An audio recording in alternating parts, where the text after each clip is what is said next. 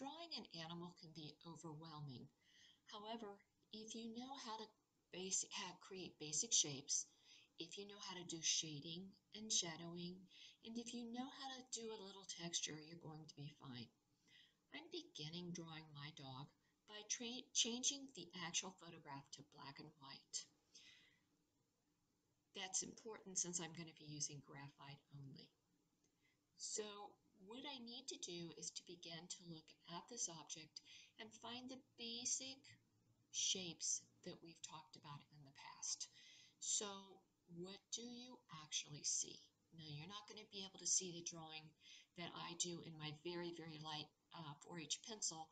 So I'm going to lay down some trace paper and do it in a bold Sharpie so that you will be able to see what I'm talking about. The ear looks to me like a big triangle. And although I know the whole face is an oval, when I see that nose in there, I think of the forehead as a smaller, higher up oval.